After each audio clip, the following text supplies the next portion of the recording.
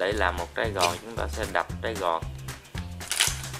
Sau đó chúng ta sẽ gỡ bỏ cái phần giữa.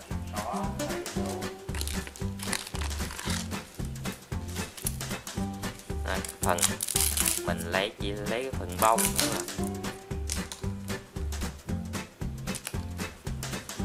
Mà à, bỏ phần giữa đi.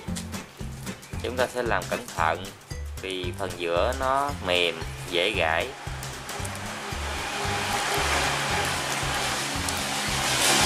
rồi, những cái bông này nó còn dính những cái hột này các bạn. Thì mình sẽ làm loại bỏ những cái hột này. Thì bông nó sẽ mềm mịn khi để vào gối nằm nó sẽ không có bị cấn.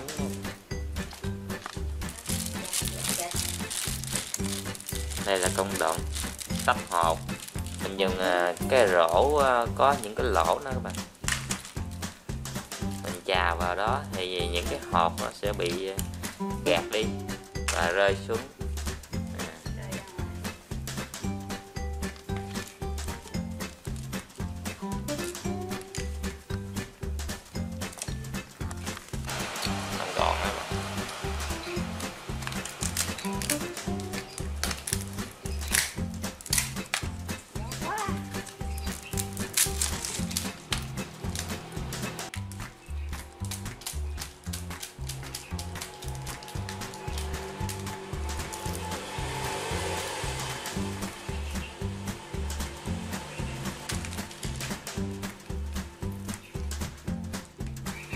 Này bỏ bỏ bỏ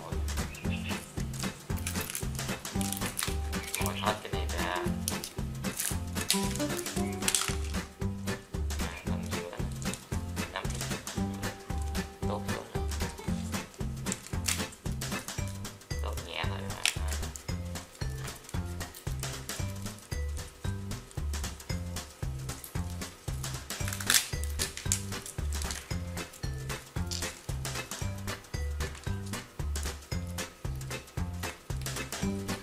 sạch rồi nè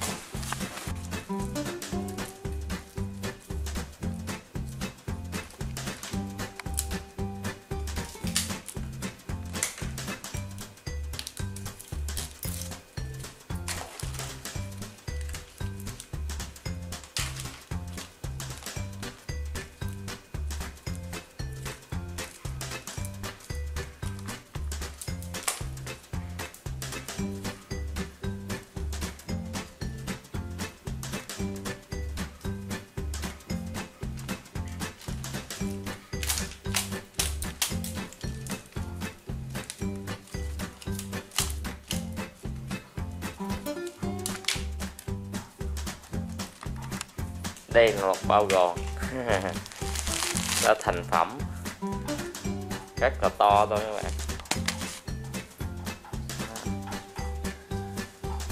Có thể nhé mấy cái mấy chục cái gói ôm luôn. Đây là nè. À, gòn nó là trắng tinh luôn nè. bấm like và subscribe An Hồ nhé. Nhớ bấm like và subscribe An Hồ nhé.